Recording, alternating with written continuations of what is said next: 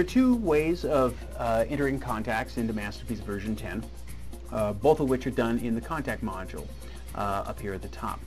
Uh, you'll notice when you click on Contact Manager, all of the components of the Contact Manager module open up. Uh, on the left are the, all the different contact lists as well as contact types that you can create, your email and mass email marketing module as well as your email statistics. To import uh, lots of contacts all at the same time, say you've got dozens or hundreds or maybe even thousands of contacts that you want to move from another database system or that you might just have archived in uh, your email program or in a spreadsheet, you can simply select the import button on this tab and uh, uh, grab a, a, file from your desktop and import it directly into the system.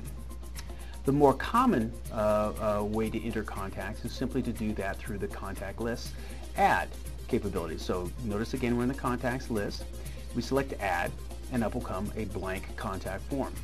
Here we can enter all the basic information about a contact into the form and then define you know, attributes of that contact. For example, you know, say I'm part of uh, Manitou Galleries and I happen to be a sales uh, uh, associate. We can enter uh, the um, uh, basic information about the business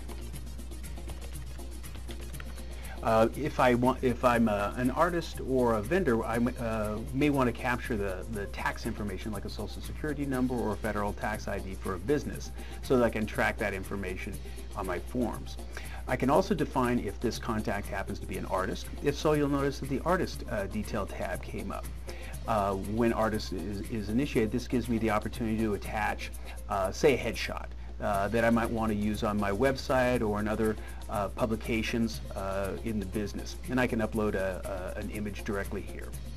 I can also create uh, biography information.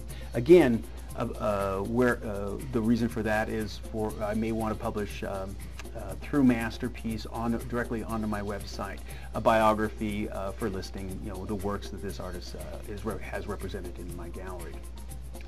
On the Contacts tab, uh, we can uh, add uh, any number of uh, telephone numbers, uh, email addresses, instant messaging accounts, and physical addresses. To do that, we simply say plus, add a number, define whether that is the primary number or not, and then what type of, of contact number that is. In this case, this would be our, uh, a main number. And then save it. You'll notice the number gets saved over here. If I've got another number that I'd like, say uh, maybe a, uh, a, cell phone number that, that I'd like to uh, save for this particular contact, I simply add it and save it. And now you'll notice that both of those numbers are captured in the drop-down box. The same would be uh, handled for email accounts. I would save that as a primary account, save it, and we've captured it over here. You'll also notice that you can email directly out of, your uh, out of our contact form. If that's the case, you simply select email. Up will come a uh, email client. You'll notice that it's pre-defined uh, to go to this particular client. I can change uh, the from uh, email address. I can uh, say who this is coming from. And I can also attach CCs, blind copies, subject, attachments from my computer. I can also include items from my database, you know, from my inventory database uh, to this. We'll get into that, uh, uh, those capabilities later. Uh, instant messaging, more and more people are using instant messaging as a way to contact folks. You can enter that. You can also enter a, a contact uh, mailing address